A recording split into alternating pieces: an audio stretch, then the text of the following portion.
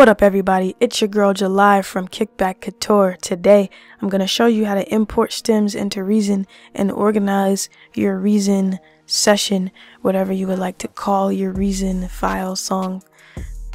There's not exactly a word for it, but I'm going to show you how to organize that once you get stems into it.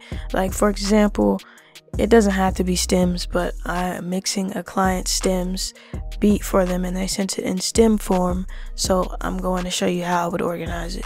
And you can apply this to anything with your beats already, you know, laid out in there. You don't have to bounce everything out to wave file just to mix. This is just how they decided to send it to me. So you can mix without bouncing to wave? I know someone is going to ask, so I'm just going to answer that ahead of time. Alright, now in order to get this into Reason, I'm just going to drag it in. It may take a while to load depending on the file size, but uh, I'll go ahead and catch up with you when it's done loading. And just want to mention, you may also ask me if it's any better to mix with Wave versus using your regular plugins. I would say it depends on your computer. If your computer can handle the original files being in there, then definitely you can mix with your plugins there without bouncing to Wave. Otherwise, it's up to you. If you need the CPU, then bouncing to Wave is definitely your best friend. Alright, I've bounced this or I've moved these stems into my template, my tracking template, because it has uh, mix channels for beat sounds, drum sounds, and instruments and all that. So I decided to to just drag it into that. So I do have a tutorial where I walk you through that from beginning to end. I'll have that up in the cards. But right now, I know the first problem we're facing is the tempo of this beat. Now in my template it's 120 and Reason automatically stretches it. So I know this is way too slow than what it's supposed to be, so I would select all of these, right click, and disable stretch, and that's going to get it back to the original tempo. Now what's important is that I change the tempo, so I need to figure out what the tempo is. We can do this in Reason just by tapping this. I'm not going to play the beat in the background because I don't have permission from the producer to do so. However, I'm gonna mute this and I'll show you how I found the tempo tempo just by tapping. I'll actually uh, solo some of the drums and we'll do that as a better option. So just tap along with the drums. Three, four, two, two, three, four. So a hundred is definitely the BPM. So we're gonna stick with the 100 there and then I will go through and name everything one by one so master section if they sent you the stems from reason the master section is gonna be basically their reference okay so I'm just gonna put reference this is how they may have mixed the beat and want it to sound and want you to mix in relation to so they might have a certain sound as the focal point and you're gonna follow this reference so that you get close to their mix, but of course you make it sound better. So I would just go through all of these sounds and name them depending on what they are or move them to the relative spot in my template. So let's see what this is. So that is a cymbal So I'm going to move this down here. I do not have a spot for a cymbal in my template. So I'm going to put cymbal there and we can color code it to match the color of the other drums. Light olive. And then this one right here. Solo that.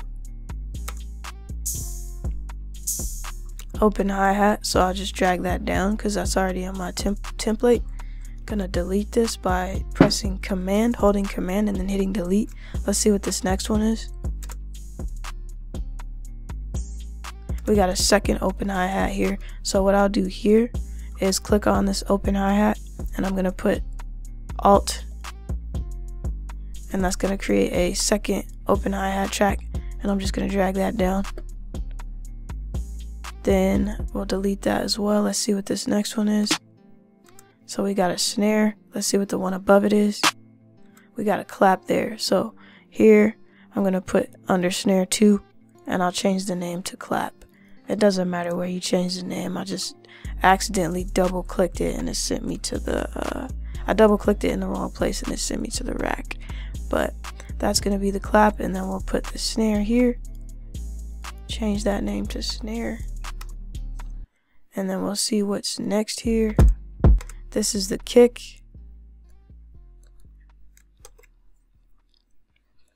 And let's see what this is got a cool percussion going here.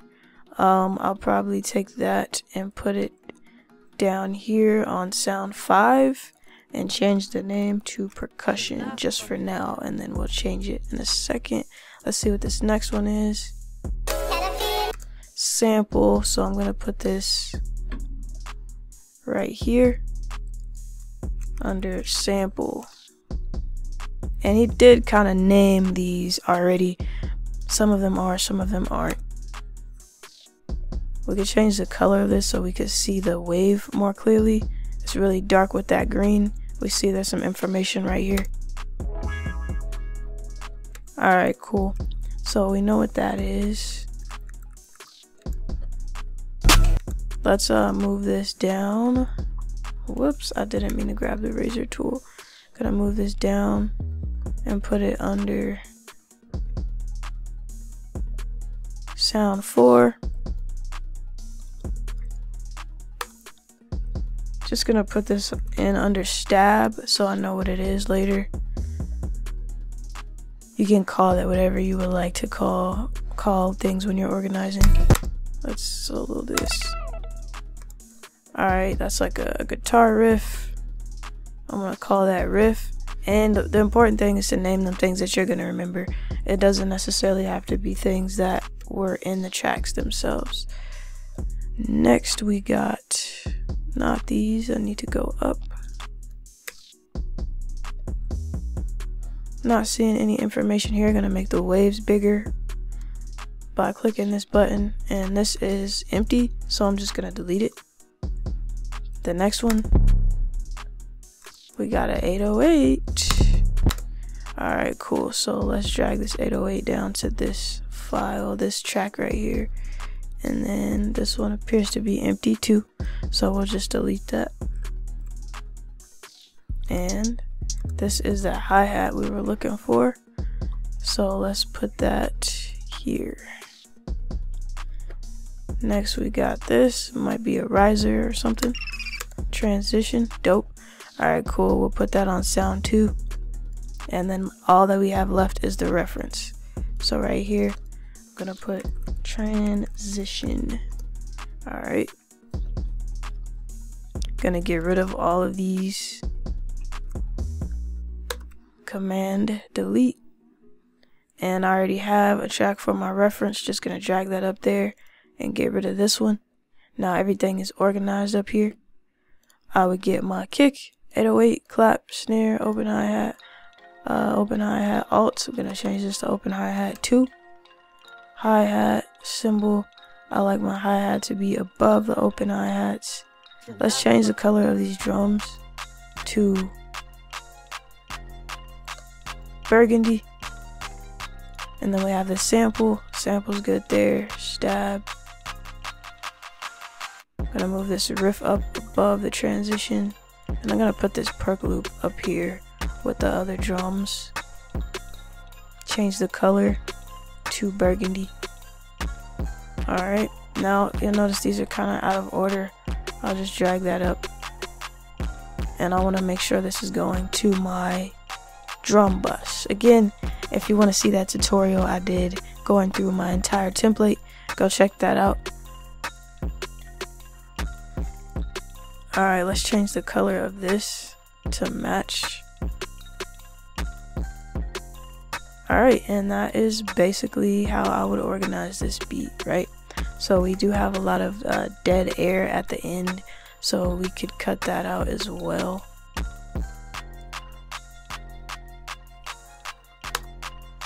And then we could move our end marker by holding down shift. I always jump to everything else first. Alright, and then I would basically start mixing from there. Now, if you would like to use the mixer to mix, you can do that as well. It is all completely up to you. You see, everything is organized. Everything that would be a part of this beat is all in this area. While if there were happen to be vocals on top of this, it would be on the right side. Don't forget to subscribe. Let me know what you would like to see next. It's all culture, kickback, and cook up.